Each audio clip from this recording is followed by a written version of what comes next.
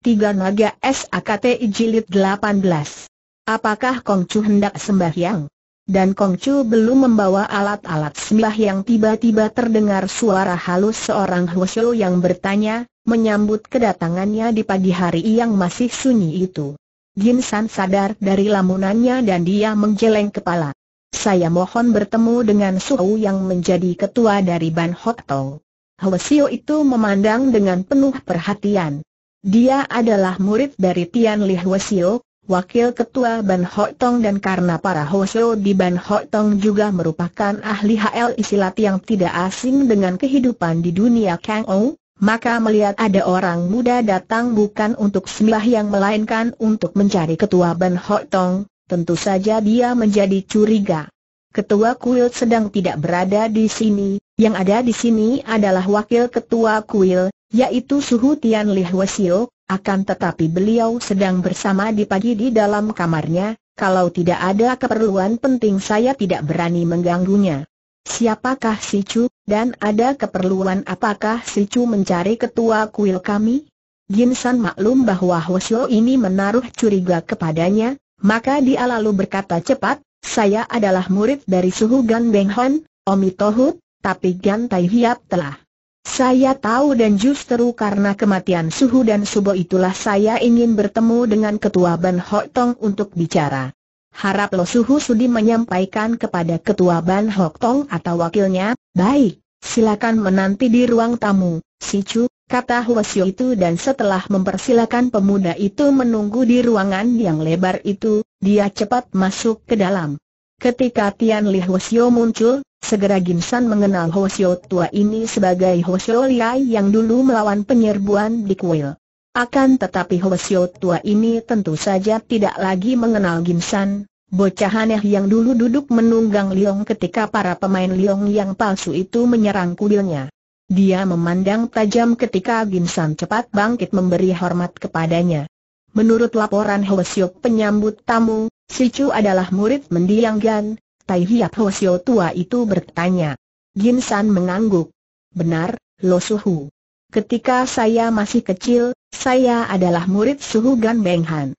Akan tetapi telah 10 tahun saya pergi, dan baru sekarang kembali ke sini, saya mendengar bahwa Suhu dan Subo telah meninggal dunia. Karena itu, saya mohon kepada Lo Suhu sudilah menceritakan kepada saya bagaimana tuasnya Suhu dan Subo, Tian Li Hwasyo memandang tajam penuh selidik, kenapa si Chu datang kepada kami untuk bertanya karena saya menduga bahwa kematian mereka tentu ada hubungannya dengan keributan yang terjadi di sini 10 tahun yang lalu, dan karena saya tahu bahwa Suhu bersahabat dengan pimpinan kuil Ban Hok Torik maka saya datang untuk bertanya 10 tahun yang lalu, dan si Chu muridnya, Ahaha, jadi si Cu ini kiranya yang dicari-cari oleh mendiang Ganteh Hiap. Dan si Cu adalah bocah yang dulu menunggang Liong yang kemudian terbawa pergi oleh kaum pengacau Ginsan mengangguk. Omi Tohut. Si Cu, ke mana sajakah si Cu pergi? Karena kehilangan si Cu maka mendiang Tai Hiap mencari dan mengejar sehingga jadi malapetaka itu. Lo Suhu, tidak penting apa yang saya alami, akan tetapi apakah yang terjadi dengan Suhu dan Subo? Harap Lo Suhu Sudi menceritakan kepada saya, Ginsan bertanya cepat, hatinya tidak sabar karena dia merasa berduka sekali mendengar akan kematian mereka, apalagi Hwasyo ini mengatakan bahwa matinya Suhu dan Subonya adalah menjadi akibat dari kepergian atau kehilangannya itu. Duduklah, si Chu duduklah. Panjang ceritanya, Kakek itu mempersilakan Ginsan duduk dan kini mereka duduk saling berhadapan dan bercakap-cakap. Dengan panjang lebar Tian Li lalu menceritakan semua yang telah terjadi 10 tahun yang telah lalu, betapa dia sendiri yang berhasil merampas lambang Im Yang Pai dari seorang pimpinan pengacau dan betapa Gantai Hiap lalu mengejar ke Im Yang Pai untuk menolong muridnya yang disangkanya terculik oleh orang-orang Im Yang Pai. Betapa kemudian para tokoh Kengou membantu pasukan kerajaan menyerbu ke Im Yang Pai dan betapa di situ terjadi pertempuran hebat yang mengakibatkan terbasminya Im Yang Pai, Para pimpinan Im Yang Pai menyangka bahwa merekalah yang mengacau di kuil ini, Si Chu, kakek pendeta itu mengakhiri cerita akan tetapi istri Gan Tai Hiap marah-marah dan menyerang Im Yang Kau Chu yang lihai. Istri Gan Tai Hiap roboh dan tewas. Gan Tai Hiap membela istrinya, akan tetapi dia pun tewas di tangan Im Yang Kau Chu.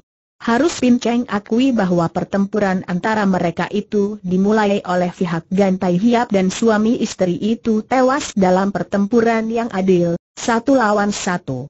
Kau Chu itu memang lihai sekali, Ginsan tertegun. Dialah yang tahu benar bahwa pihak In Yang Pai tidak bersalah. Bahwa bengkau yang sengaja menggunakan nama In Yang Pai untuk mengadu domba. Dan akibatnya, Suhu dan Subonya sampai bertanding dengan Im Yang, Kau Chu dan tewas. Dia tidak mungkin dapat menyalahkan Im, Yang Kau Chu dalam hal itu, akan tetapi Suhu dan Subonya tewas, tentu dia tidak akan dapat tinggal diam saja.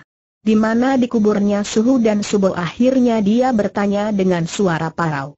Di kuburan sebelah barat kota, akan tetapi setelah si Chu muncul, tentu sekarang dapat terbuka semua rahasia itu. Si Chu, tentu si Chu dapat menerangkan siapakah yang melakukan penyerbuan dahulu itu. Tentu pihak Im yang kau tahu Im yang Pai, bukan Ginsan bangkit berdiri, menggelengkan kepalanya. Bukan. Im yang Pai tidak bersalah sama sekali dalam penyerbuan itu tapi, tapi, Pinceng sendiri yang merampas lambang Im, yang Pai dari orang. Itu lambang curian. Bukan orang, Orang Im Yang Pai yang mengganas di sini, akan tetapi golongan lain yang hendak mengadu domba antara Im, Yang Pai dengan pemerintah dan para pendeta Buddha, akan tetapi, lalu siapa, Hake? Si Chu tunggu.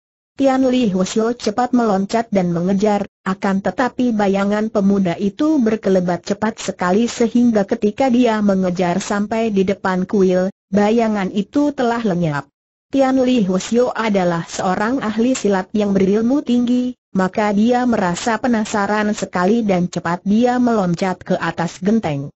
Akan tetapi, dari tempat tinggi itu pun sudah tidak lagi nampak bayangan pemuda aneh itu dia melayang turun kembali dan menggeleng kepalanya.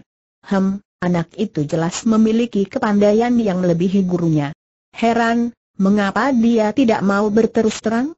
Tentu saja Ginsan tidak mungkin untuk berterus terang kepada Tian Li Huo atau kepada siapa pun juga tentang rahasia itu.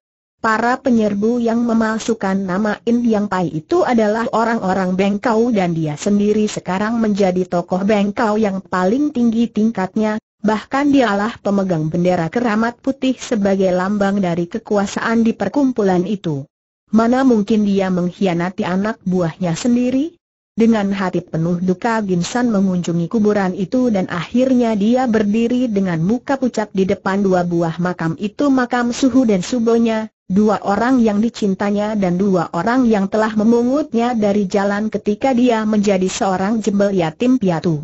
Dia mengepal-ngepal tinjunya. Suhu dan subonya terbunuh dalam pertempuran yang jujur melawan Im Yang Kau Chu. Akan tetapi sesungguhnya kematian mereka adalah akibat dari penyerbuan yang dilakukan oleh orang-orang Bengkau. Tentu saja tidaklah adil kalau dia harus menyalahkan Im Yang Kau apalagi setelah mendengar betapa Im Yang Pai malah dibasmi oleh pasukan pemerintah, gara-gara perbuatan Bengkau yang curang.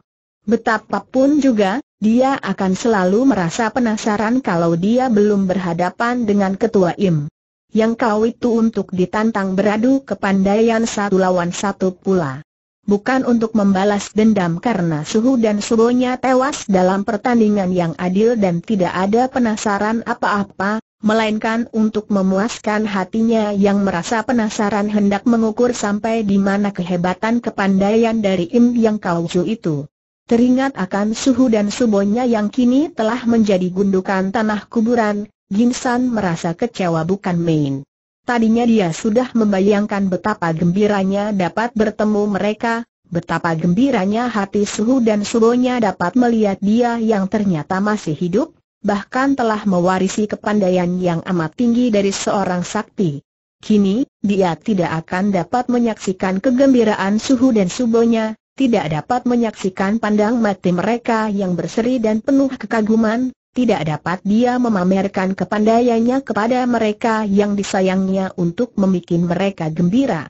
Dia mengepal tinjunya saking kecewanya, kemudian mengeluh, suaranya terdengar agak keras, ah, kenapa kalian telah mati dulu?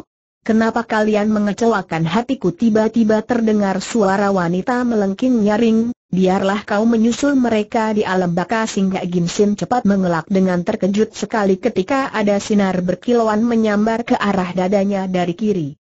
Itulah serangan pedang yang dilakukan orang dengan kecepatan cukup berbahaya, namun bagi Ginsan tentu saja bukan apa-apa dan dia sudah berhasil mengelak dengan amat mudahnya ketika dia mengelak dan membalikan tubuh, dia melihat bahwa yang menyerangnya adalah seorang wanita yang berwajah cantik dan bertubuh ramping padat, biarpun wanita itu tidak boleh dibilang muda, bahkan tentu sudah 30 tahun lebih usianya, seorang wanita yang masak dan memperlihatkan bekas kecantikan yang menarik.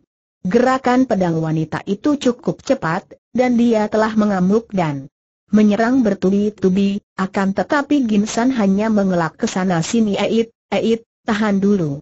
Mengapa kau menyerangku membabi buta? Apa salahku Ginsan berkata sambil berloncaran dengan ringan sehingga ke mana pun sinar pedang berkelebat, selalu pedang itu hanya mengenai tempat kosong belaka. Mampuslah kau, manusia jahat. Engkau memusuhi keluarga Gan, maka akulah musuhmu, aku akan membalas kematian Han Koko wanita itu berseru lagi dan menyerang makin ganas. Eh, eh, salah. Engkau salah sangka, Twa. Aku bukan musuh keluarga Gan, malah murid dari suhu Gan Beng Han. Ahaha wanita itu terkejut dan menahan pedangnya. Mereka berdiri saling pandang dan Ginsan mendapat kenyataan bahwa wanita itu benar-benar cantik dan biarpun tidak muda lagi namun masih menarik. Terutama sepasang mata wanita itu indah jernih, seperti mata seorang anak-anak dan wanita itu pun memandang kepada Ginsan, mengagumi pemuda yang selain amat tampan dan muda, juga luar biasa lihainya itu sehingga semua penyerangannya tadi sama sekali tidak ada basilnya. Wanita itu tersenyum, dan memang dia manis sekali. Kau, kau murid Han Koko awas tiba-tiba Ginsan menubruk ke depan dan menyambar tubuh wanita itu sehingga mereka bergulingan ke atas tanah sambil berangkulan satu sama lain. Hanya itulah jalan satu-satunya bagi Ginsan untuk menyelamatkan wanita itu ketika asap hitam tadi menyambar. Dia tahu bahwa asap itu adalah asap beracun, maka satu-satunya jalan hanya membawa wanita itu bertiarap ke atas tanah. Setelah asap hitam itu lewat terbawa angin, barulah Ginsan melepaskan pelukannya. Wanita itu bangkit duduk dan memandang kepada Ginsan dengan kedua pipi merah dan mata bengong, Kemudian dia tersenyum. Mereka berdua tadi telah saling berangkulan dan bergulingan dan hal ini membuat wanita itu merasa berdebar jantungnya. Akan tetapi, Ginsan dan wanita itu tidak sempat banyak cakap karena pada saat itu muncul lima orang kakek yang melihat dandanan mereka adalah pendeta-pendeta. Mereka berpakaian putih dan jenggot panjang-panjang, rambut mereka dibiarkan riap-riapan. Kelimanya memegang tongkat dan yang berdiri di depan adalah seorang yang matanya satu, karena mata kirinya tertutup dan buta tidak berbiji lagi. Ginsan mengerutkan alisnya memandang lima orang kakek itu. Kakek bermata satu itu tentu sudah 60 tahun usianya sedangkan empat orang kakek yang lain juga tidak muda lagi, sudah lebih dari 50 tahun. Melihat sikap mereka, dia dapat menduga bahwa mereka itu rata-rata memiliki kepandaian tinggi, bahkan melihat sinar mata dari kakek bermata tunggal itu dia dapat mengerti bahwa kakek ini adalah seorang ahli sihir karena kekuatan batinnya terpancar keluar sinar matanya. Sebetulnya hati Ginsan sudah merasa mendongkol karena dia tahu bahwa pelepas asap beracun tadi tentulah lima orang kakek ini, akan tetapi karena dia menghadapi lima orang yang sudah tua dan berkepandaian, maka dia lalu mengangkat tangan menjura dan bertanya, siapakah adanya Nggowi Totiang dan apa maksudnya melepas asap beracun ditegur secara langsung, biarpun dengan suara halus, Lima orang kakek itu memandang dengan heran dan juga terkejut. Bahkan kakek bermata tunggal itu berseru, Sian Chai, masih begini muda sudah lihai sekali dan dapat dengan cepat mengenal asap hitam. Si Chu, kami berlima tidak berniat buruk, dan asap tadi kalau berhasil hanya akan membuat kalian berdua tidur sebentar. Kami tidak ingin diganggu dan kami ada keperluan dengan dua makam ini, kini wanita cantik itu yang berkata dengan suara penuh curiga, Han Koko dan istrinya telah meninggal sepuluh tahun yang lalu. Kalian lima orang pendeta mau apakah dan siapa yang menyuruh kalian datang ke makam ini? Kakek bermata tunggal itu tertawa. Suara ketawanya halus dan seketika wanita itu merasa hormat dan suka kepada kakek ini. Akan tetapi diam-diam Ginsan mengerahkan kekuatan batinnya menolak pengaruh itu dan maklumlah dia bahwa kakek bermata tunggal Im telah mulai mempergunakan kekuatan sihir melalui suara ketawanya sehingga dia tadi merasa jantungnya tergetar dan terusap halus sehingga kalau dia tidak cepat mengerahkan tenaga, tentu dia sudah akan dapat ditundukkan seperti keadaan wanita itu yang kini memandang penuh kagum. Kalian anak-anak baik minggirlah. Kami berlima sengaja datang hendak melakukan sembahyangan terhadap makam Gantai Hiap dan istrinya, dan harap kalian tidak mengganggu kami. Mendengar ucapan itu, wanita cantik itu yang telah terpengaruh oleh suara ketawa tadi, mengangguk-angguk ramah dan segera melangkah minggir untuk memberi tempat kepada lima orang pendeta itu di depan makam. Ginsan mengerutkan alisnya karena dia melihat ketidakwajaran dalam suara ketawa kakek mati satu itu. Akan tetapi dia tidak mengenal mereka dan setelah mereka menyatakan hendak bersembahyang di depan makam suhu dan subonya, tentu saja tidak berani lancang menghalangi mereka. Dia tahu bahwa suhu dan subonya adalah pendekar-pendekar, yang dihormati orang dan bukan hal aneh kalau lima orang pendeta ini hendak memberi penghormatan dan sembahyangan, biarpun kematian suhu dan subonya sudah lewat sepuluh tahun. Oleh karena itu, dia pun lalu melangkah ke pinggir dan seperti juga wanita itu, dia kini mengikuti saja semua gerak-gerik lima orang pendeta itu dengan pandang matanya. Dengan sikap tenang, lima orang pendeta itu dipimpin oleh pendeta Metle, tunggal, lalu duduk di depan makam, mengeluarkan beberapa buah benda-benda aneh, seperti tali, guci kosong, benda-benda kecil terukir berbentuk naga, burung hong, kilin, dan sebagainya. Kesemuanya itu mereka atur di atas tanah depan makam, kemudian pendeta Metle satu membakar ujung puluhan batang hio, dupa biting. Mulailah mereka berlima membaca mantra atau berdoa, dan dengan dipimpin oleh pendeta Metle, tunggal yang memegang segenggam hio membara, mereka berjalan mengelilingi dua buah makam itu sambil terus membaca mantra atau berdoa. Mereka terus berdoa dan berjalan mengelilingi makam, membuat gerakan, gerakan aneh dengan tangan mereka sampai hio itu hampir terbakar habis. Lalu mereka kembali ke depan makam, duduk membentuk lingkaran. Pendeta Metle, tunggal menancapkan hiu yang masih mengepulkan asap itu di atas tanah, di tengah-tengah lingkaran mereka, kemudian dia membuat coret-coret tanah di sekitar benda-benda tadi dengan mulut berkemak-kemik. Tiba-tiba mereka berlima menggerakkan kedua tangan ke atas, dengan jari-jari terbuka dan terdengar wanita tadi mengeluarkan jerit tertahan, karena dia merasa tubuhnya menggigil dan merasa serem sekali. Ginsan sudah duduk bersila. Begitu melihat lima orang pendeta itu duduk membentuk lingkaran dan si pendeta Metle, tunggal mencoret-coret tanah, dia terkejut bukan main.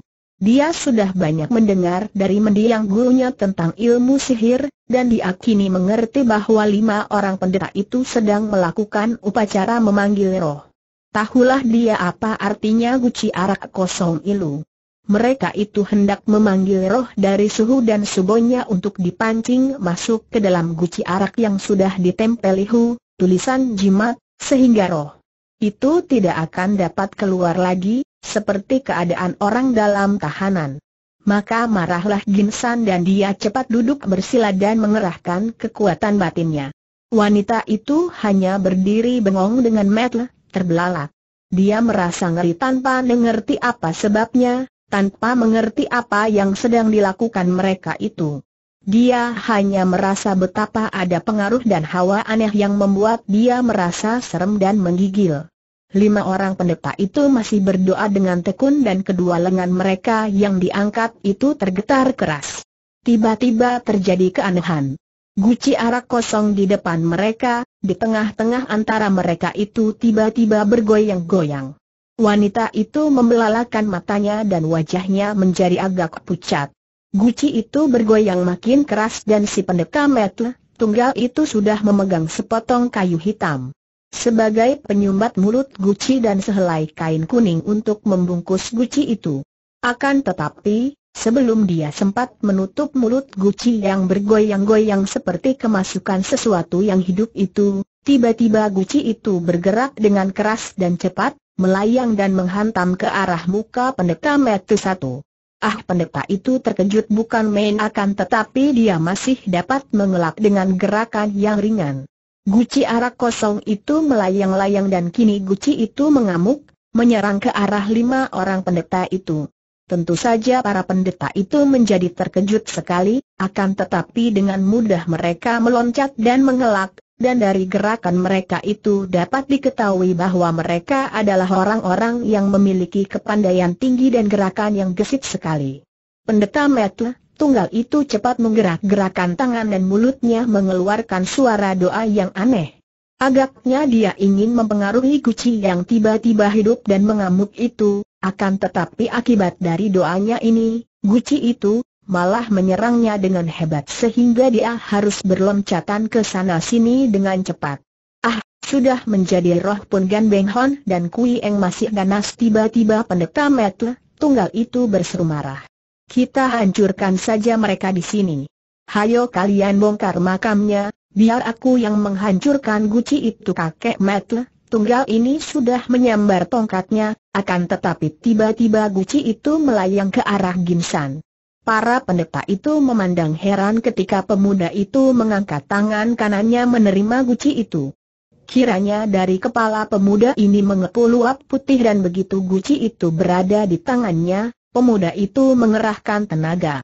Tiara guci arak kosong itu pecah berantakan dan Gimsan melemparkannya ke atas tanah. Kini pemuda itu sudah membuka kedua matanya dan dari sepasang matanya Keluar sinar berapi yang menyambar ke arah lima orang pendeta itu. Ah, kiranya engkau bocah lancang yang telah berani mengganggu dan mengacau pekerjaan kami kakek bermata tunggal itu berteriak marah dan bersama dengan empat orang temannya diakini menghadapi Ginsan yang juga sudah bangkit berdiri sambil tersenyum, akan tetapi matanya tetap berkilat penuh kemarahan. Dan kalian adalah lima orang pendeta busuk yang akan melakukan perbuatan busuk, mencoba untuk menangkap dan menyiksa roh dari suhu dan suboku? Aha, kalau tidak keliru kalian tentulah pendeta-pendeta kalian kau, bukan? Dan kalau benar demikian, mengapa kalian hendak mengganggu ketenteraman suhu dan subo yang sudah meninggal dunia mendengar ini? Wanita itu yang kini sudah tidak lagi terpengaruh hawa mujizat, melangkah mendekati Ginsan dan berdiri di sebelah pemuda itu dengan perasaan sepenuhnya memihak pemuda ini. Dan para pendeta itu kini memandang heran karena mereka tidak mengira bahwa pemuda itu adalah murid dari mendiang Gan Beng Hon dan istrinya. Gan Beng Hon dan istrinya adalah musuh-musuh kami, dan biarpun mereka telah tewas, kami hendak menghukum mereka, keparat jahanam Ginsan berteriak marah suhu dan subuh adalah pendekar-pendekar budiman, tak mungkin kalian akan mampu mempermainkan roh mereka. Di samping itu, ada aku Choa Ginsan, murid mereka yang akan membela mereka tiba-tiba kakek bermata tunggal itu berteriak melengking nyaring, tongkatnya diangkat tinggi-tinggi dan mulutnya mengeluarkan suara mendesis-desis. Kembali wanita cantik itu menjerit karena dia melihat betapa tongkat itu telah berubah. Menjadi seekor ular besar panjang yang meluncur dan melayang ke arah Ginsan. Akan tetapi pemuda itu memandang dengan tenang, bahkan lalu mengejek dengan ucapan nyaring. Pendeta siluman, permainanmu ini hanya dapat dipakai untuk menakut-nakuti anak kecil saja dia lalu bertepuk tangan satu kali, akan tetapi suara tepukan tangannya itu nyaring seperti ledakan. Tar wanita yang terbelalak itu melihat betapa ular yang ganas tadi seperti disambar ledakan membalik dan lenyap, berubah menjadi tongkat biasa lagi di tangan pendekar metu satu yang kelihatan terkejut. Panggil ular teriak pendekar metu satu itu dan tiba-tiba dia dan empat orang temannya lalu mengeluarkan masing-masing sebatang suling ular yang bulat, lalu mereka meniup lima buah suling itu. Terdengar suara melengking panjang yang aneh. Kembali wanita itu menjerit ketika nampak ular-ular berdatangan dari empat penjuru.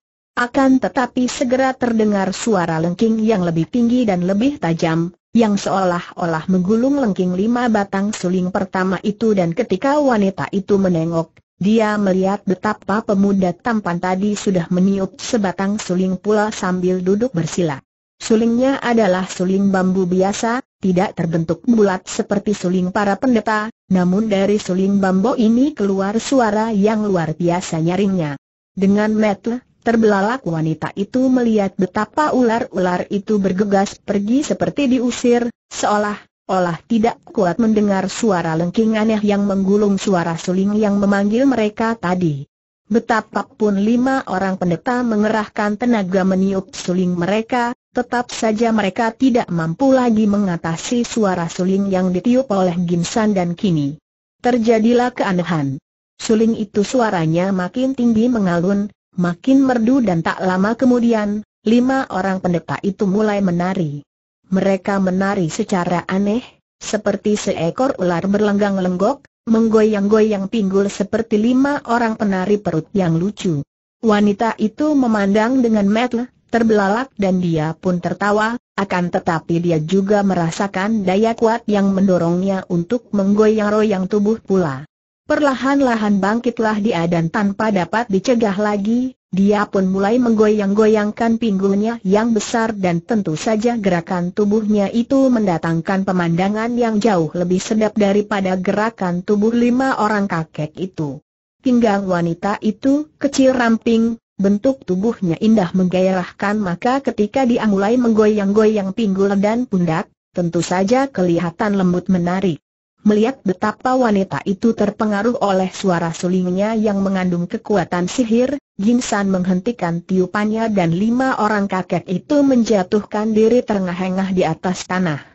Mereka lelah sekali karena tadi mereka telah berusaha sekuat tenaga untuk mengerahkan kekuatan melawan pengaruh itu, berbeda dengan si wanita yang tidak melawan sehingga ketika kini pengaruh itu lenyap bersama lenyapnya suara suling, wanita itu hanya terduduk dan menjadi bengong karena herannya. Setelah pernapasan mereka pulih kembali lima orang kakek itu menjadi marah bukan main.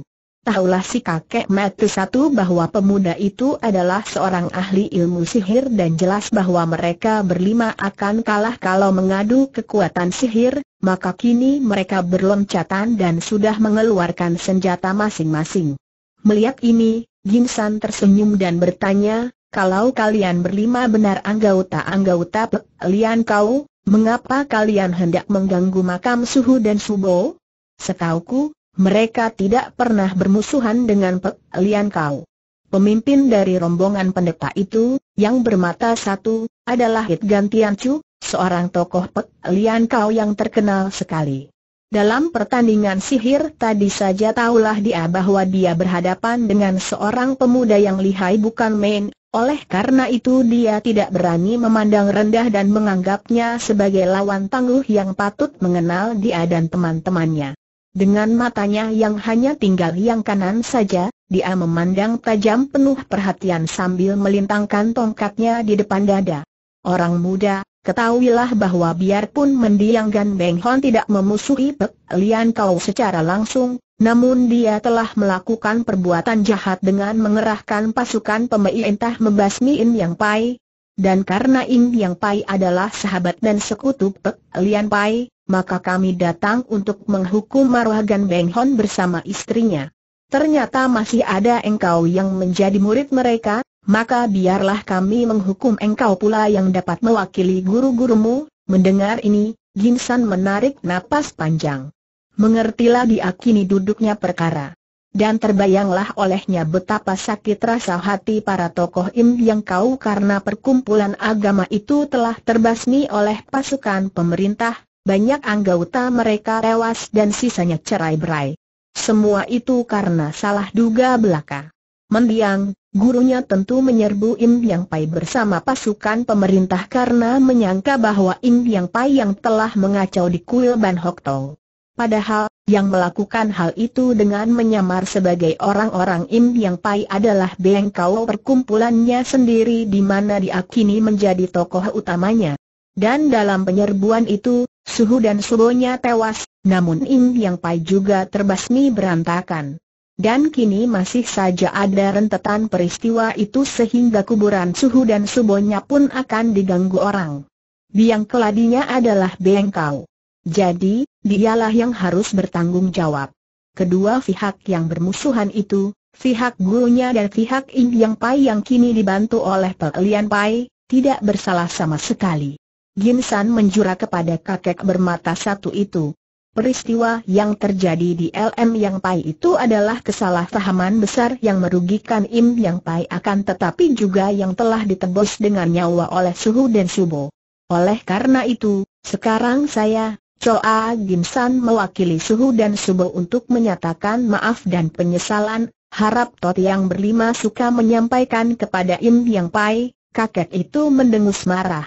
Huh, Aku It Gantian Chu hanya memenuhi tugas untuk menghukum marwah musuh-musuh besar Im Yang Kau. Kalau engkau hendak memintakan maaf, datang saja kepada Ketua Im Yang Pai atau Ketua Im Yang Kau dan bukan kepadaku, Ginsan mengerutkan alisnya. It Gantian Chu, aku bicara baik-baik akan tetapi kenapa engkau masih bersikap seperti musuh?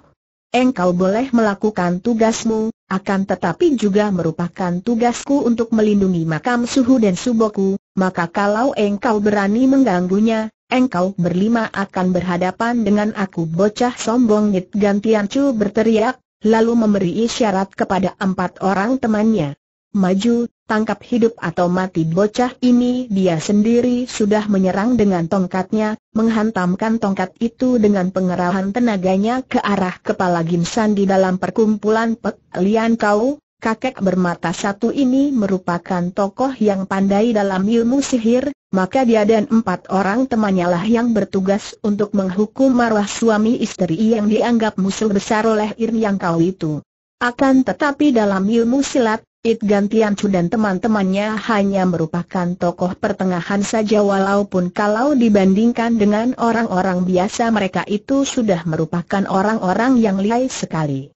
Melihat datangnya tongkat, Ginsan hanya miringkan kepala dan menerima tongkat itu dengan pundaknya, karena dia lebih memperhatikan empat batang pedang dari empat orang kakek lainnya yang juga menyerangnya pedang-pedang itu dapat merobek pakaiannya maka dia menggerakkan kaki tangan menyambut empat batang pedang itu tanpa menghiraukan tongkat yang memukul ke arah pundaknya.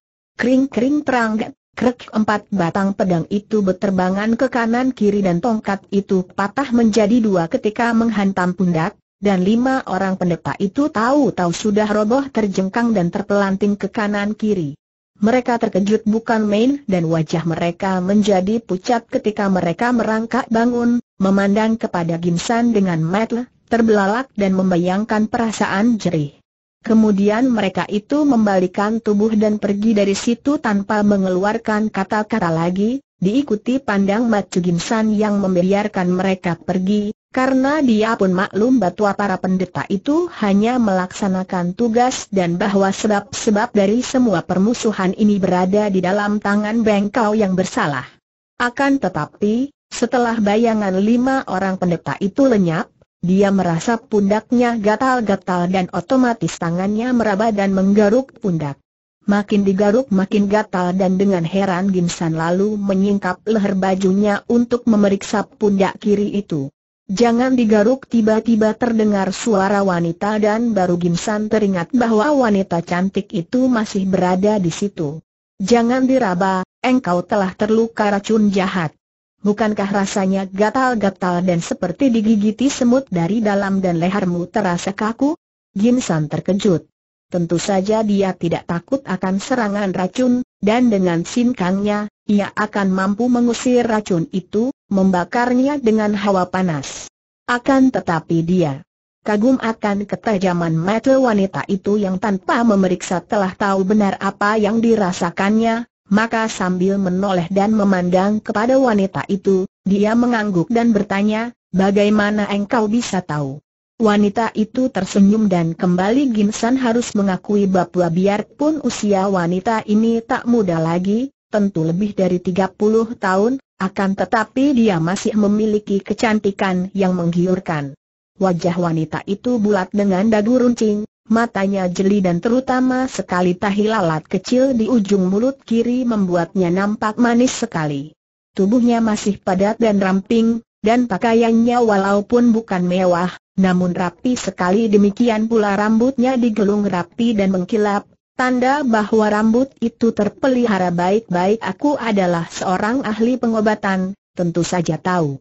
Biarkan aku memeriksamu. Dahulu aku pernah menolong dan mengobati Suhu yang terluka parah, sekarang aku hendak menolong dan mengobatimu. Wanita itu membuka baju Ginsan dan memeriksa pundak kirinya. Ahaha dia berseru kaget. Keji sungguh kakek Lian kau itu. Dia menggunakan racun pembusuk tulang apa itu Ginsan bertanya, kaget juga. Racun ini amat jahat. Dengan kepandaianmu, tentu engkau akan mengira dapat mengusir hawa beracun, akan tetapi engkau tidak tahu bahwa racun ini meninggalkan hawa yang dapat merusak tulang pundamu tanpa kau rasakan dan tahu. Tahu tulang itu akan membusuk, Ahaha Ginsan terkejut juga karena di antara banyak ilmu yang dipelajarinya dari gurunya, dia tidak pernah diberi pelajaran ilmu pengobatan. Akan tetapi jangan khawatir, aku mempunyai obatnya. Mari kau ikut bersamaku ke rumahku, di sana aku akan merawatmu sampai sembuh. Engkau adalah murid Gan. Tai Hiap, jika bagiku bukan orang lain. Siapa namamu tadi? Choa Ginsan Ginsan mengangguk. Dan siapakah Bibi? Apakah sahabat mendiang sebuah wanita itu menggeleng kepala? Mari kita berjalan ke rumahku, nanti ku ceritakan kepadamu tentang diriku, karena ingin terbebas dari racun pembusuk tulang itu, Ginsan tidak membantah dan pergilah mereka meninggalkan kuburan itu setelah sekali lagi Ginsan memberi hormat kepada makam suhu dan subuhnya.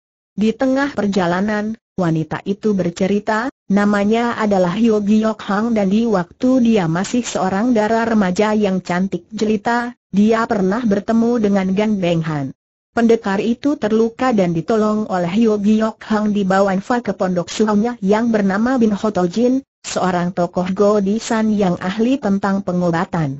Berkat bantuan Yogi Yok Hang dan suhunya, maka pendekar Gan Beng Hon dapat disembuhkan dan dalam pertemuan ini Yogi Yok Hang jatuh cinta kepada pendekar itu.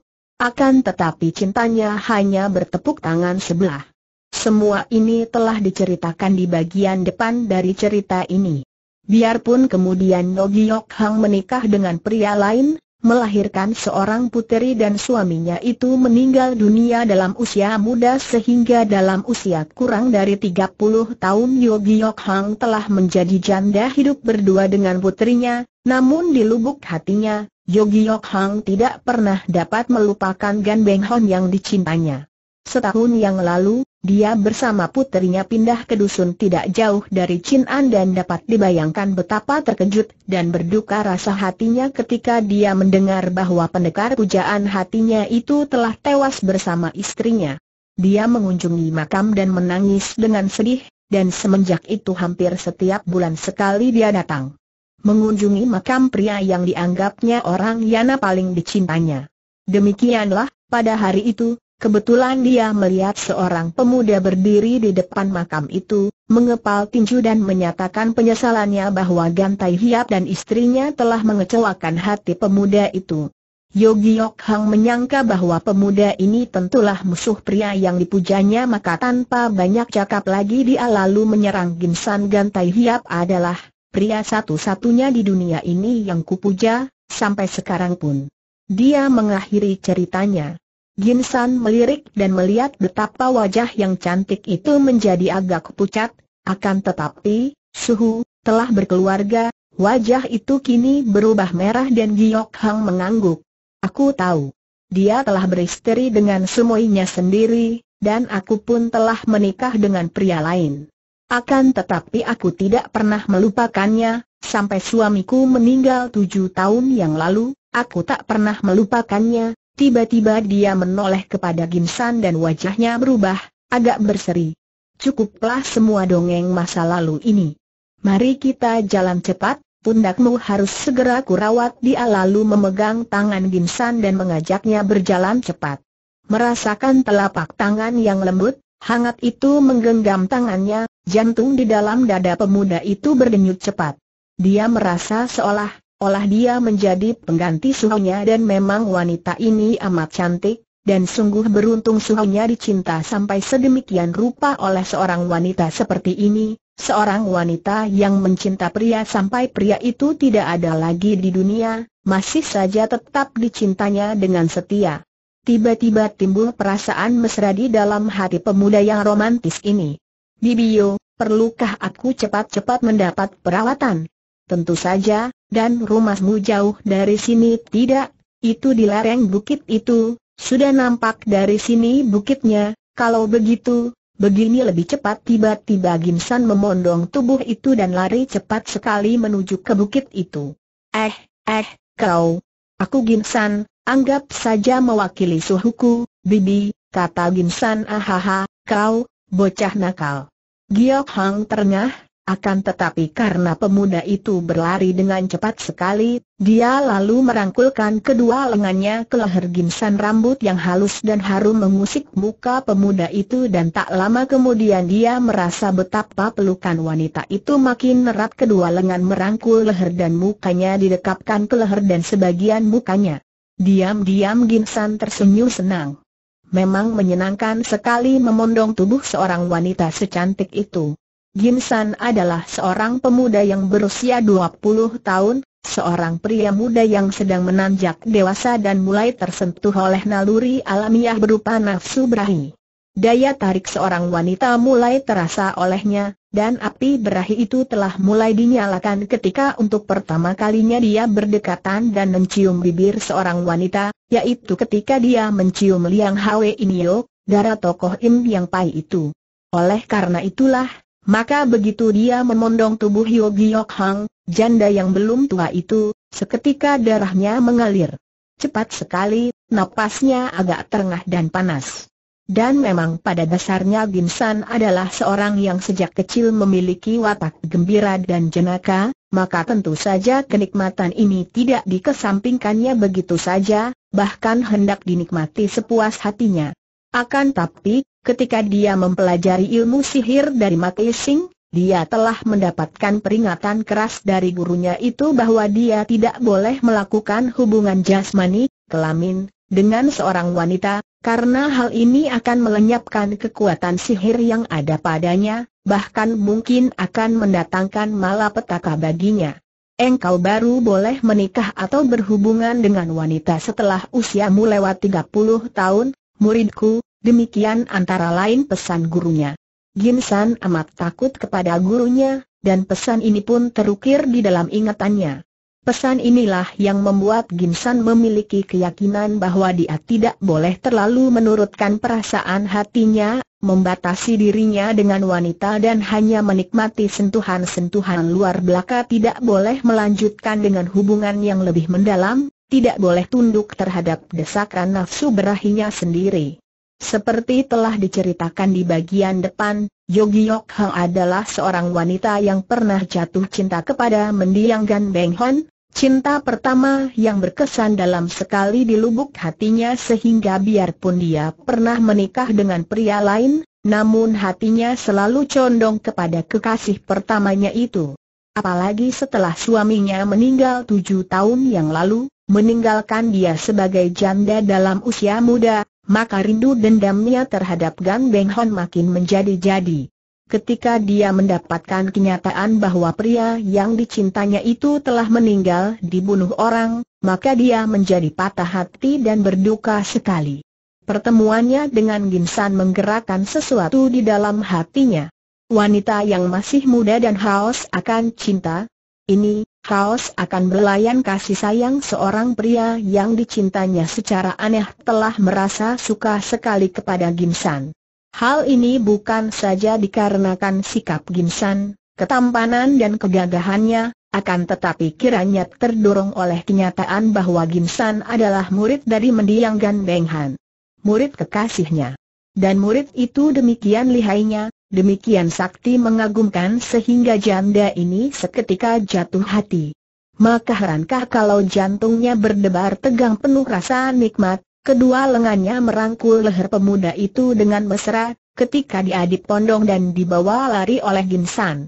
Bertahun-tahun dia haus akan kasih sayang pria, apalagi semenjak suaminya meninggal tujuh tahun yang lalu, dan kini, tanpa disangka-sangkanya, dia berada dalam pondongan seorang pemuda yang demikian mengagumkan hatinya. Ginsan juga merasa betapa pelukan kedua lengan di lehernya itu makin lama makin ketat dan rambut halus itu membelai pipi dan lehernya, bahkan kadang-kadang dia merasa hetapa pipi yang halus dan hangat menyentuh dagu dan lehernya.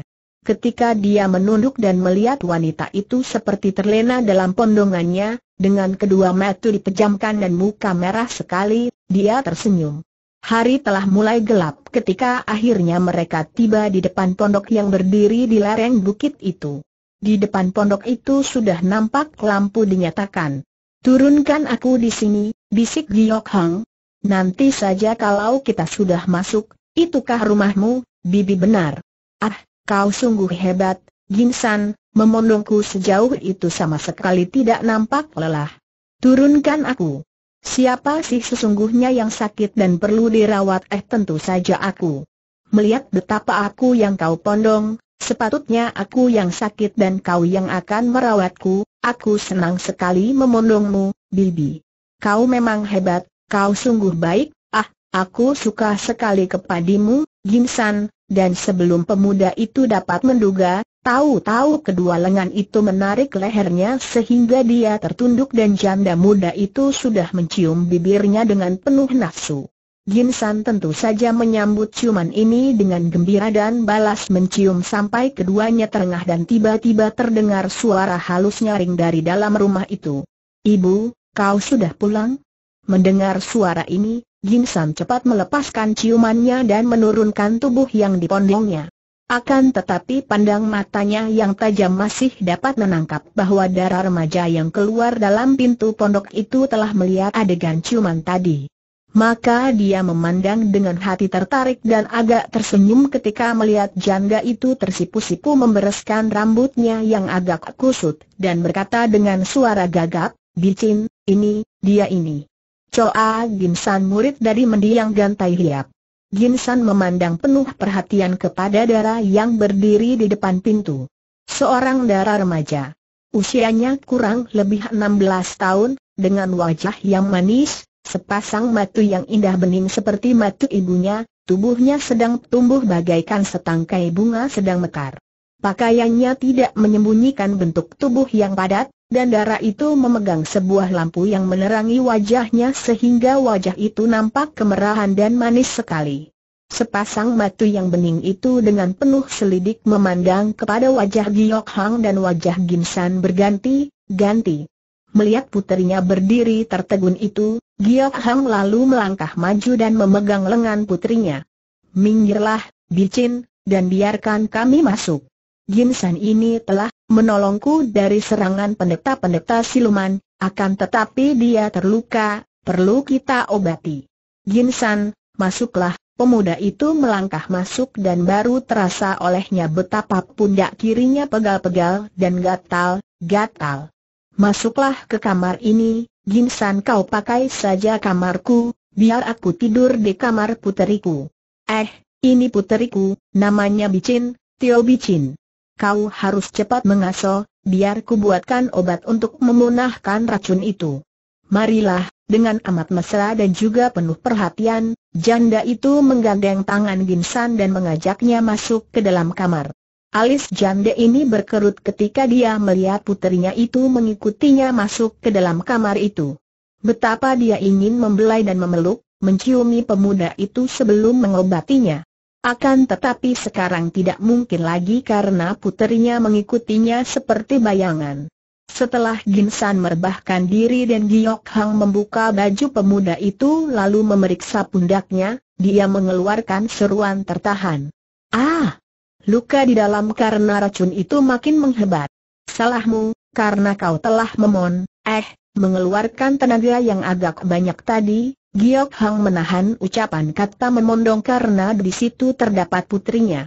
Ginsan hanya tersenyum karena dia sama sekali tidak merasa khawatir. Dia tahu bahwa racun itu makin menghebat, akan tetapi dia yakin bahwa dengan sinkangnya dia akan mampu mengusir bersih racun itu. Melihat keadaan pundak itu, Giok Hang mengusir nafsu berahinya dan segera dia sibuk memasak obat sambil menyuruh puterinya untuk memasakkan bubur guna tamu mereka. Tanpa berkata apa pun, hanya dengan lirikan mata yang menyambar tajam ke arah wajah Ginsan, darah remaja itu lalu membantu ibunya dan mereka sudah sibuk di dapur sedangkan Ginsan rebah di atas pembaringan sambil tersenyum-senyum, geli dan gembira memikirkan betapa dengan enak dan senangnya dia terjatuh dalam tangan ibu dan anak yang cantik-cantik dan manis-manis itu. Tiga hari kemudian, setelah minum obat yang dimasak oleh ibu dan puterinya itu, sembuhlah pundak kiri Ginsan pemuda ini merasa kagum akan kepandaian ibu dan anak itu, juga akan keramahan mereka selama tiga hari dia tinggal di rumah mereka. Dia merasa beruntung bahwa selama tiga hari tiga malam itu, dia tidak lagi didesak oleh janda muda yang haus cinta itu, karena bicin, darah remaja itu, agaknya telah menaruh curiga dan selalu membayangi atau menemani ibunya di waktu janda ini merawat dan memasuki kamar Ginsan oleh karena itu, Giok Hang hanya sempat mengutarakan rasa cintanya melalui sentuhan-sentuhan mesra, kerling matu dan senyum manis belaka, tidak berani melakukan hal yang lebih daripada itu karena puterinya selalu memasang metu dan telinga. Ketika pada hari keempat itu Giok Hang bersama puterinya memasuki kamar Ginsan pemuda ini ternyata sudah duduk di atas kursi dan sudah berpakaian rapi, siap untuk berangkat pergi. Melihat nyonya rumah itu datang membawa obat dan hidangan pagi, Ginsan cepat bangkit dan menjura. Bibi Hang dan adik Chin, hendaknya kalian tidak usah repot-repot lagi. Aku sudah sembuh sama sekali dan pagi ini aku hendak berpamit untuk meninggalkan kalian dan melanjutkan perjalananku. Ahaha Giok Hang berseru dan wajahnya berubah agak pucat. Ginsan cepat memberi hormat kepada janda itu. Bibi dan adik selama tiga hari ini amat baik kepadaku, tidak hanya telah merawatku dengan teliti, akan tetapi juga bersikap ramah dan manis budi, sungguh membuat aku Choa Gimsan berhutang budi kepada kalian. Mudah-mudahan saja kelak aku akan berkesempatan untuk membalas budi kalian. Sekarang, harap kalian suka maafkan aku dan mengizinkan aku pergi dari sini, dengan sikap gugup dan muka masih pucat nyonya janda itu menoleh kepada putrinya. Bicin, kau keluarlah dulu dari kamar ini, Aku mau bicara berdua dengan Ginsan, sikapnya tegas dan suaranya mendesak. Sejenak Bicin memandang ibunya, akan tetapi dia lalu menundukkan muka, memutar tubuhnya dan melangkah keluar dengan cepat. Setelah darah itu keluar dan tidak terdengar suaranya di luar kamar, Giok Hang lalu membalikan tubuhnya menaruh obat di atas meja dekat hidangan pagi yang tadi ditaruh di situ oleh putrinya, dan dia lalu mendekati Ginsan pemuda itu melihat betapa sepasang metu yang indah itu basah dengan air metu dan sebelum dia dapat berkata-kata, nyonya janda itu sudah menubruk dan merangkulnya sambil menangis. Ginsan, jangan kau tinggalkan aku tanda seru Giok Hang berseru lirih. Ginsan tersenyum dan jari-jari tangannya segera mengelus dan mengusap rambut dan muka yang halus itu, ada saatnya bertemu, ada saatnya berkumpul, dan ada pula saat untuk berpisah, bibi yang manis, katanya halus. Ginsan, tidak tahukah engkau betapa aku, amat suka kepadamu, betapa aku cinta padamu.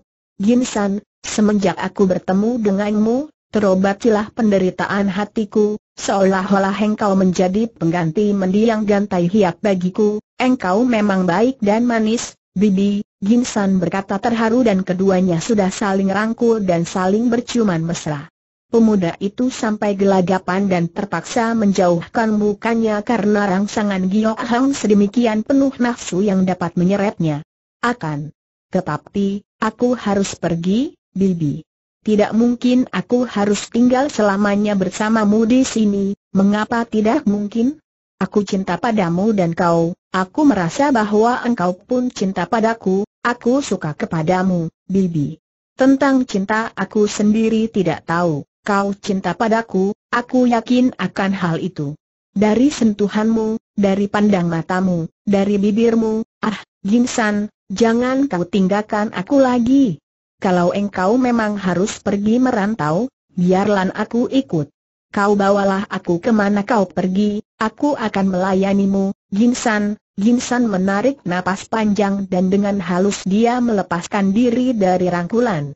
Suaranya terdengar tegas dan juga halus memujuk ketika dia berkata, Bibi Giok Hang, engkau bicara dalam keadaan tidak sadar. Ingatlah baik-baik siapa adanya engkau, dan ingatlah bahwa engkau adalah seorang ibu yang harus menjaga adik bicin baik-baik. Ingat bahwa kalau kita menurutkan nafsu hati belaka, kelak perbuatan kita akan merusak menghancurkan nama baik kita, terutama nama baikmu dan karena itu engkau akan merusak pula kehidupan adik bicin. Oh Giok Hang terpekik lirih dan menjatuhkan diri duduk di atas pembaringan sambil menangis. Ucapan itu membuka mata dan menyadarkannya bahwa dia masih mempunyai kewajiban terhadap putrinya. Mengertikah engkau, Bibi? Hidup memang tidak hanya berarti mengurusi diri sendiri maka, banyak sekali kaitan-kaitannya dengan orang-orang lain, dengan keluarga dan dengan persoalan-persoalan lain. Dan aku tidak mau merusak namamu, tidak mau membuat sengsara adik bicin. Nah, selamat tinggal, Bibi Hong, aku akan selalu ingat kepadamu. Ginsan wanita itu bangkit dan kembali menubruk, merangkul dan menciumi pemuda itu sambil menangis. Aku cinta padamu, Ginsan, bagaimana? Engkau dapat meninggalkan aku begitu saja? Ginsan mengecup bibir yang gemetar itu, tersenyum. Mana bisa aku meninggalkan kau begini saja? Aku meninggalkan engkau dengan membawa kenangan manis, Bibi. Dan kelak, kalau memang berjodoh, kita tentu akan dapat saling berjumpa kembali. Nah, inilah tanda metu dariku harap Bibi simpan sebagai kenang-kenangan, Pemuda itu melolos sabuk rantai peraknya, mematahkan sebuah meter rantai ikat pinggang itu dan memberikannya pada Giok Hang yang menerimanya dengan tangan gemetar. Lalu diciuminya meter rantai itu dan dipegangnya. Ah, Ginsan, janda itu lalu melepas cincin emas yang menghias jari manis tangan kanannya, kau terimalah ini, dan jangan, jangan kau lupakan aku, Ginsan, Ginsan menerima dan menyimpan cincin itu, kemudian terpaksa dia melepaskan karena janda itu merangkulnya dan seolah-olah tidak rela melepaskannya. Dia meninggalkan Giok Hang yang menangis terseduh-seduh dalam kamar, melangkah dengan cepat keluar dari dalam pondok di lereng bukit itu. Memang patut dikasihani seorang wanita seperti Giok Hang itu. Dilihat sepintas lalu dengan kacamata kesusilaan yang oleh umum sudah ditentukan sebagai alat pengukur bagi seorang wanita, memang kelihatannya tidak patut dan tidak tahu malu apa yang diperbuat oleh janda itu. Namun, apabila kita memandang keadaannya tanpa prasangka dan tanpa ketentuan pendapat yang kaku, kita dapat menarik napas sedih dan merasa kasihan. Giok Hang adalah seorang manusia biasa, seorang wanita yang sehat jasmaninya. Dan sebagai seorang wanita sehat yang usianya baru 35 tahun, belum tua benar, maka amatlah wajar kalau dia masih amat membutuhkan cinta kasih seorang pria. Semenjak muda, ketika masih gadis, dia telah menderita patah hati karena cinta kasihnya terhadap Gan Beng Hon bertepuk tangan sebelah.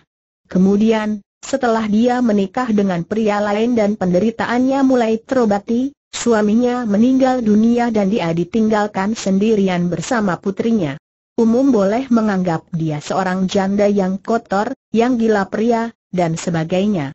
Namun, kalau kita wawas secara adil dan jujur, kotor atau jahatkah kalau seorang wanita mendambakan kasih sayang dan belayan mesra seorang pria? Bukanlah hal itu timbul dari naluri yang wajar, dari kebutuhan jasmani yang sehat? Pilihannya jatuh kepada Ginsan, yang sepintas lalu nampak lucu dan mentertawakan karena pemuda itu jauh lebih muda daripadanya. Namun, dalam hal ini kesempatan dan kebetulan memainkan peranan penting sekali. Kebetulan dia berjumpa dengan Ginsan, kebetulan pemudi ini adalah murid dari pria yang dicintanya, dan terbuka kesempatannya untuk berdekatan dan merawat pemuda itu. Maka, anehkah kalau sampai janda itu jatuh cinta? Cinta asmara antara pria dan wanita memang merupakan hal yang penuh rahasia dan aneh. Daya tarik antara pria dan wanita bukan hanya terletak pada wajah yang cantik dan tampan, bukan hanya pada usia muda atau tua, bukan harta semata, namun daya tarik itu menyelinap di mana-mana. Mungkin saja seorang pria dan seorang wanita saling tertarik dan saling mencinta karena daya tarik yang terletak dalam watak masing-masing yang cocok. Mungkin juga karena kagum, karena iba, dan sebagainya. Cinta asmara antara pria dan wanita tidak mengenal usia, tidak mengenal agama, tidak mengenal bangsa atau golongan, tidak mengenal harta, kepandaian, kedudukan dan sebagainya. Cinta kasih antara manusia adalah perasaan kemanusiaan yang terindah dan paling agung. Ada juga rasa haru di dalam hati Ginsan ketika dia meninggalkan pondok di lereng bukit itu. Bibi Giok Hang demikian baik kepadaku, pikirnya dan dia belum mampu membalas, bahkan kini mengecewakan hatinya, mendukakan hatinya dengan meninggalkan tempat itu. Akan tetapi, dia harus pergi, tak mungkin dia tinggal terus di situ, tenggelam dalam pelukan janda itu akan menjadi laki, laki apa macamnya dia kalau dia terus tinggal di sana? Cuaca cerah pagi itu dan Ginsan melupakan semua renungannya, melanjutkan perjalanan dengan gembira dan ketika tangannya tanpa disadarinya memasuki saku bajunya, jari-jari tangannya bertemu dengan dua buah benda. Ditariknya dua benda itu keluar dan dipandangnya hiasan rambut teratai emas yang dihadiahkan Liang Hwe Inio kepadanya, dan cincin emas hadiah dari Ogiok Hang tadi. Dia tersenyum, mengenangkan dua orang wanita itu dan membanding-bandingkan mereka. Keduanya sama cantik manis, sama menarik, memiliki keistimewaan sendiri-sendiri. Liang Hwe ini masih muda dan bagaikan bunga sedang semerbak harum, 18 tahun usianya, cantik dan terutama sekali lesung pipit itu membuat mulutnya amat manis menggairahkan. Dan janda itu, seorang wanita yang sudah matang, ciumannya berani dan merangsang panas, Kecantikannya terutama terletak pada hidungnya yang mancung dan cuping hidungnya dapat bergerak halus kembang, kempis membayangkan perasaan hatinya. Berhenti Ginsan tersentak dari lamunannya dan memandang heran kepada darah yang menghadang di depannya dengan pedang di tangan itu. Chin Boy, adik Chin Ginsan berseru heran melihat darah itu bersikap mengancam dengan pedangnya, namun masih nampak olehnya betapa darah ini kelihatan gagah dan cantik, kedua pipinya kemerahan dan terutama sekali matanya. Darah ini memiliki mata yang hebat. Lebih indah dari mata ibunya. Demikian jeli dan bening tajam, agak lebar denga kedua ujung kanan kiri meruncing ke atas seperti dilukis saja. Pemuda ini sudah tenggelam ke dalam keindahan mata itu sehingga dia lupa lagi akan sikap aneh dari gadis ini. Choa Ginsan, Aku sengaja menantimu di sini dan bersiaplah engkau untuk mati. Ginsan memandang dengan mata, terbelalak heran. Selama tiga hari tiga malam ini Bicin juga bersikap ramah dan manis kepadanya, sungguh pun tidak pernah mesra seperti ibunya. Kenapa tanyanya bingung? Kenapa aku harus mati? Untuk menebus kekurang ajaranmu. Engkau telah menghina ibuku Bicin sudah menerjang dengan pedangnya, menusuk dengan cepat dan gerakannya memang ringan sekali. Sejak kecil, darah ini sudah dilatih oleh ibunya bukan hanya dalam ilmu pengobatan, melainkan juga dalam ilmu silat sehingga dia tidak asing memegang dan mempermainkan sebatan pedang. Namun, tentu saja bagi Ginsan, serangan itu sama sekali tidak ada artinya dan berturut-turut sampai lima kali dia selalu mengelak dari tusukan dan bacokan pedang. Eh eh eh, Nanti dulu, adik bicin. Nanti dulu dan terangkanlah, dalam hal apa aku kurang ajar dan menghina. Engkau dan ibumu selalu baik kepadaku bagaimana mungkin aku menghina ibumu Ginsan berseru sambil berloncatan ke sana sini, kemudian meloncat jauh ke belakang. Darah itu berdiri dengan dada bergelombang saking marahnya dan juga saking lelahnya telah melakukan serangan bertubi yang selalu mengenai tempat kosong itu. Matanya bersinar-sinar seperti mengeluarkan titik api, indah sekali. Choa Gimsan, engkau sungguh seorang manusia yang rendah budi. Ibuku dengan hati suci dan tulus telah menolongmu, mengobatimu, akan tetapi engkau telah berani menghinanya, adik Bicin, harap jangan marah-marah dulu dan jelaskanlah, apa yang telah kulakukan sehingga engkau menuduh aku menghina ibumu. Engkau, engkau telah merangkul dan menciuminya. Itulah penghinaan hebat dan engkau harus mampus darah itu sudah menerjang lagi, kini lebih hebat dan nekat gerakannya. Ah Ginsan berseru heran dan kaget, cepat dia mengelak lagi ke sana kemari.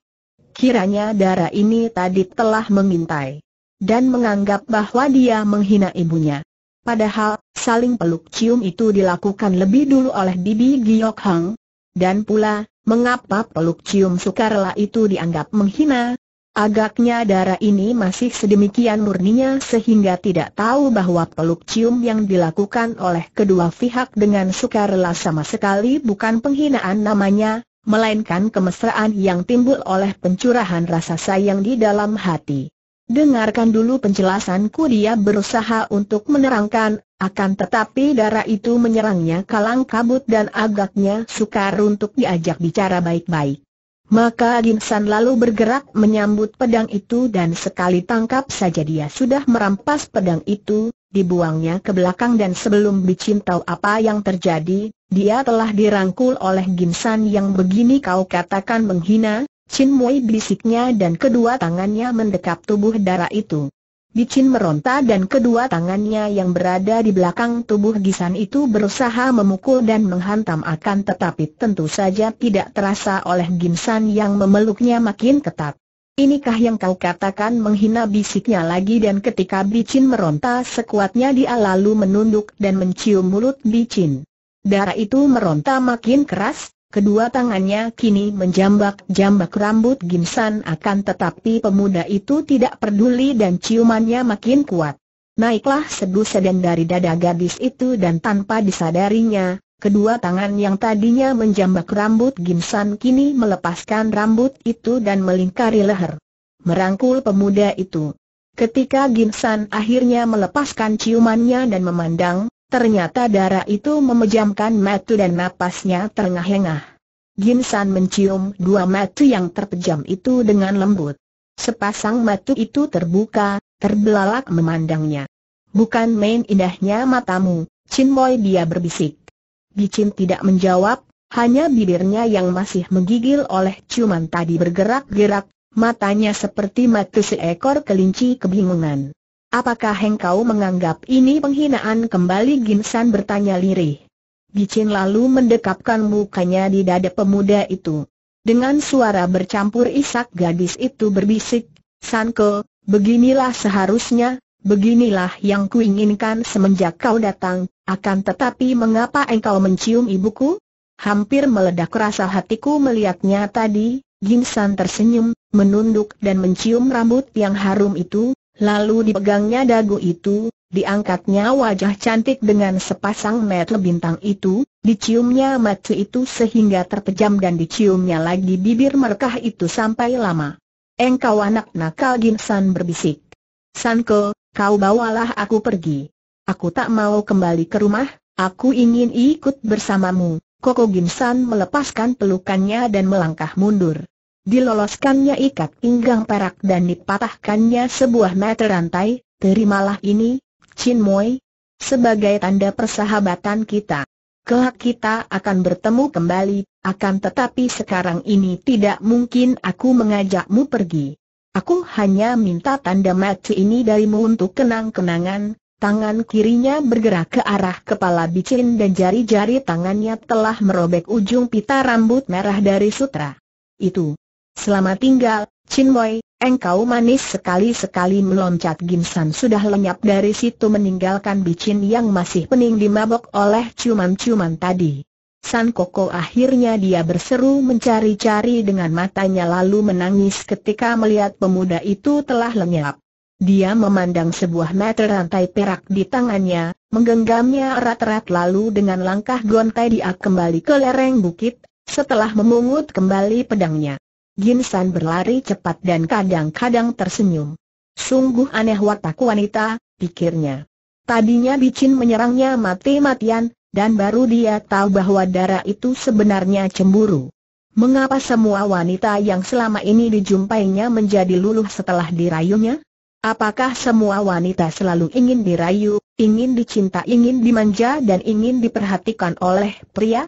Kembali Ginsan tersenyum dan jari-jari tangannya bermain-main dengan tiga macam benda yang diterimanya dari tiga orang wanita itu. Hiasan rambut teratai emas dari Hwe Inio, cincin dari Giok Hang, dan pita rambut yang diambilnya sendiri dari rambut Bicin. Perahu kecil itu bergoyang ke kanan kiri oleh keriput air yang bergelombang kecil digerakkan angin. Sunyi senyap di permukaan telaga itu, dan pagi masih berkabut, menghalangi pandang mata. Agaknya segala sesuatu di sekitar telaga itu masih tidur, kecuali dua orang yang di dalam perahu kecil sambil mencurahkan seluruh perhatian ke ujung tangkai pancing yang mereka pegang. Kakek itu sudah tua sekali, tentu sudah lebih 80 tahun usianya. Biarpun tubuhnya kurus, namun wajahnya masih nampak berseri dan sehat, dengan sepasang mata yang tenang namun bersinar tajam. Bajunya berwarna kuning dan potongannya longgar seperti jubah wasio, rambutnya yang sudah tiga perempat bagian putih itu digelung ke atas dan diikat dengan pita kuning. Dengan wajah berseri dan mulut tersenyum dia memandangi air, di mana tali pancingnya bersambung dengan bayang tali itu di permukaan air. Di ujung yang berlawanan dari perahu duduk pula seorang pemuda yang tampan dan berpakaian sederhana pula seperti kakek itu. Pemuda ini usianya kurang lebih 20 tahun, tubuhnya sedang, wajahnya tampan dan sikapnya gagah, pandang matanya tajam penuh kesungguhan. Pemuda ini adalah Tan Sian Lun putra mendiang Tan Bun Hang dan mendiang Song Kim Bwe. Adapun kakek itu ada Siang Koan Lojin atau yang bernama Siang Koan Li, kakek sakti yang suka merantau, yang lalu hidup sebagai petani atau nelayan, biarpun memiliki kesaktian tinggi namun tidak pernah mau menonjolkan nama sehingga di dunia Kang Ou, nama Siang Koan Li tidak dikenal orang. Seperti telah kita ketahui dari bagian depan, Sian Lun ditolong dan dibawa pergi oleh kakek itu ketika terjadi keributan di kuil Ban Hok Tong, kurang lebih 10 tahun yang lalu. Selama 10 tahun itu, dia digembleng dan dilatih oleh gurunya, bahkan gurunya yang menyayangnya itu telah mewariskan seluruh kepandaiannya kepada Sian Lun melihat kakek dan pemuda itu di dalam perahu di atas telaga yang sunyi di pagi hari itu, tekun memancing ikan, orang akan menyangka bahwa mereka itu hanyalah dua orang nelayan biasa saja, atau dua orang yang mempunyai kegemaran memancing. Sama sekali tidak akan ada yang mengira bahwa mereka adalah guru dan murid yang memiliki ilmu kepandaian tinggi sekali. Tiba-tiba Sian Lun menarik tangkai pancingnya dan seekor ikan terangkat dan menggelepar di dalam perahu. Seekor ikan yang cukup gemuk dan sebesar lengan tangan, dengan sisik berwarna putih seperti perak dan mati merah seperti permata. Sian Lun membebaskan mulut ikan dari pancingnya, sejenak memegang ikan yang menggelepar-gelepar itu, kagum akan keindahan warna sisik putih bersih dan mati merah itu, kemudian tiba-tiba dia melemparkan ikan itu kembali ke dalam telaga. Kluk Ikan itu menyelam dan permukaan telaga tenang kembali. Hahaha, kemarin engkau membebaskan kembali kelinci yang kau tangkap, sekarang kau membebaskan ikan yang terkena pancingmu, Sian Lun kakek itu yang sejak tadi mengikuti gerak-gerik muridnya dengan sudut matanya, tertawa dan menegur. Sian Lun menundukkan mukanya, alisnya berkerut. Suhu, aku kasihan sekali melihat ikan itu. Demikian indahnya, demikian hidup dan sehat, mengapa harus mati hanya untuk memenuhi selera mulut dan kebutuhan perutku kakek itu tertawa bergelak, menancapkan tongkat pancingnya di perahu dan duduk membalikan tubuhnya, menghadapi muridnya. Itulah hidup. Hidup dan mati adalah dua hal yang saling isi mengisi, yang tidak pernah dapat dipisahkan. Tidak ada hidup kalau tidak ada mati. Bukan hidup namanya kalau tidak akan mati. Dan kematian itu datang dengan care apa saja. Mengapa hal yang begitu saja merisaukan hatimu, Sian Lun saya sudah kehilangan selera saya untuk makan ikan, suhu, kalau untuk itu saya harus merusak keindahan dan kehidupan, pemuda itu melemparkan tangkai pancingnya ke dalam perahu. Kembali kakek itu tertawa. Aha, mengapa muridku menjadi begini lemah? Mengapa mengisi kehidupan dengan keluh dan keprihatinan? Muridku, aku teringat akan ucapan Seng bijaksana yang cu di zaman dahulu. Beliau mengatakan bahwa tidak ada manusia hidup lebih dari seratus tahun, dan yang mencapai usia seratus tahun, di antara seribu belum tentu ada satu. Kalaupun ada, dia itu akan hidup sebagai seorang pikun, seperti kanak-kanak dan sudah tidak berdaya apa-apa. Setengah kehidupan ini dihamburkan untuk tidur, atau dihamburkan untuk hal-hal tidak berguna di siang harinya. Setengahnya lagi, manusia dihimpit oleh penderitaan, sakit, duka, kekecewaan, kematian, kehilangan, kegelisahan dan ketakutan. Hampir tidak ada waktu bagi manusia untuk hidup dalam keadaan damai dan tenteram tanpa digerogoti oleh kekhawatiran, Sian Lun mendengarkan saja dengan penuh perhatian. Dia maklum betapa bijaksana gurunya ini dan betapa dalam semua kata-kata gurunya terkandung kebenaran mutlak. Apakah artinya hidup manusia kakek itu melanjutkan sambil memandang ke langit yang mulai disentuh cahaya kuning emas dan matahari pagi, seolah-olah dia hendak bertanya kepada gumpalan-gumpalan awan yang berari lembut. Kesenangan apakah yang terkandung dalam kehidupan? Apakah untuk menikmati keindahan dan kekayaan? Apakah untuk menikmati kemerduan suara dan keindahan warna-warni? Akan tetapi akan tiba saatnya bagi semua manusia di mana kecantikan dan kekayaan tidak lagi memenuhi kebutuhan hati, dan di mana suara hanya meniadi kebisingan bagi telinga, dan warna menjadi kemuakan bagi mata. Kembali kakek itu menarik napas panjang, akan tetapi mulutnya masih tersenyum seolah-olah dia mentertawakan kehidupannya sendiri. Apakah kita hidup ini hanya untuk berjaga-jaga dengan takut agar tidak melanggar hukum dan menderita hukumannya, dan kadang-kadang bergerak terdorong oleh keinginan mendapatkan ganjaran atau nama besar? Kita hidup di dalam dunia gila, memperebutkan pujian hampa, menghayal bahwa nama besar akan abadi. Kita hidup terjepit dalam lorong sempit, dikuasai oleh hal-hal picik yang kita lihat dan dengar, tenggelam dalam prasangka-prasangka kita, melewati segala kebahagiaan hidup tanpa menyadari bahwa kita telah kehilangan segalanya. Tak pernah kita menikmati kesegaran anggur dari kebebasan. Kita hidup sebagai orang-orang hukuman dalam penjara, tertimbun belenggu, Sian Lun maklum bahwa apa yang diucapkan oleh gurunya itu memang menjadi pegangan hidup gurunya. Gurunya tak pernah mengejar nama, tak pernah mengejar harta, tak pernah mengejar kesenangan. Namun gurunya selalu gembira. Betapapun juga, dia sering kali termenung membayangkan betapa kosongnya kehidupan seperti yang dihayati oleh gurunya itu betapa kosong tanpa arti. Akan tetapi, suhu. Betapa mungkin kita hidup bebas dari segalanya di dunia ini, melepaskan diri dari ikatan-ikatan kemanusiaan, Betapa mungkin kita berdiam diri saja kalau menyaksikan ketidakadilan, betapa mungkin kita berpeluk tangan saja kalau menyaksikan kejahatan. Lalu apa gunanya saya bersusah payah mempelajari ilmu dari suhu selama ini? Mohon petunjuk, suhu, Xiang Lun, kebebasan berarti bebas dari segala kera, bebas dari segala aturan, bebas dari segala petunjuk. Apa pun yang kau lakukan barulah bebas kalau berdasarkan naluri hatimu sendiri, tanpa tiru-tiru tanpa pamrih memperoleh sesuatu, baik mengejar maupun menghindarkan hukuman, tapi, nama baik, hahaha, persetan dengan nama baik kalau engkau melakukan sesuatu dengan pamrih untuk memperoleh nama baik, maka apa yang kau lakukan itu adalah palsu dan kotor.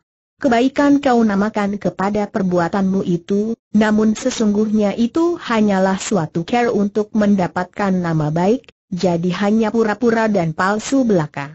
Apakah artinya nama baik? Selagi hidup, semua makhluk memang berbeda, akan tetapi dalam kematian mereka semua sama juga. Selagi hidup mereka itu bisa pintar atau bodoh, mulia atau hina, namun dalam kematian, mereka semua sama-sama berbau, membusuk, hancur dan lenyap. Dalam kelahiran mereka sama, dalam kematian pun tiada bedanya, jadi kita semua ini sama-sama pintar, sama-sama bodoh, sama-sama mulia dan sama-sama hina. Ada yang usianya hanya sampai 10 tahun, ada yang mencapai 100 tahun, namun kesemuanya akhirnya mati juga. Orang suci yang agung mati seperti juga si dungu yang jahat. Di waktu hidup dinamakan Raja-Raja Agung Yao dan Sun, namun setelah mati mereka itu hanyalah tulang-tulang membusuk. Di waktu hidup dinamakan Raja-Raja Lalim Chieh dan Chow, namun setelah mati, mereka juga hanya tulang-tulang membusuk. Dan tulang-tulang membusuk di mana pun sama saja, siapa yang dapat mengenal dan membedakan mereka bagi pendengaran Cian Lun yang masih berdarah muda, ucapan suhunya itu dianggapnya lemah tanpa semangat, seperti suara orang yang putus asa. Lalu, apakah yang harus kita lakukan selagi hidup, suhu? Apa? Nikmatilah hidup selagi kehidupan ini milik kita. Mau mengail? Mengailah mau makan ikan? Makanlah. Kita tidak mempunyai waktu untuk memusinkan hal-hal sesudah mati, akan tetapi, kalau kita hanya menurutkan suara hati, biasanya kita hanya akan mengejar kesenangan belaka, dan dari situ timbullah penyelewengan dan perbuatan yang jahat, suhu.